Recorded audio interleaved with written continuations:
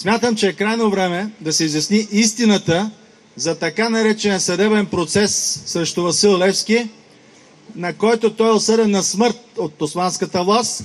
Забележете за какво е осъден. За криминално престъпление. За убийството на слугин, слугинчето, слугин, слугата Стойчо в една ловешка къща. Това убийство вече е установено документално. Има доста доказателства. Не е извършено от Левски. Обвинението се гради изцяло на само на един единствен свидетел, на показанията на един единствен свидетел, който е много спорен, много съмнителен. Някой си Вутио, човек неграмотен, човек свързан с Димитър Общи, който, както знаем, не е понасял Левски.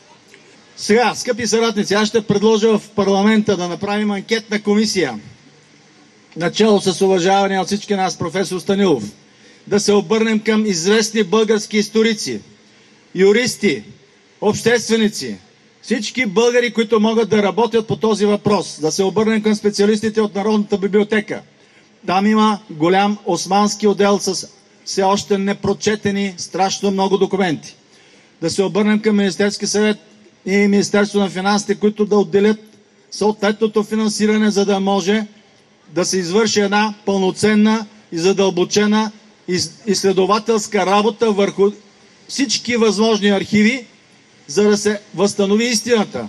Да се направи всъщност една ревизия на този тогавашен процес през 1872-3 година, който завършва с не, неоснователна, повтарям, смъртна присъда по тогавашните османски закони.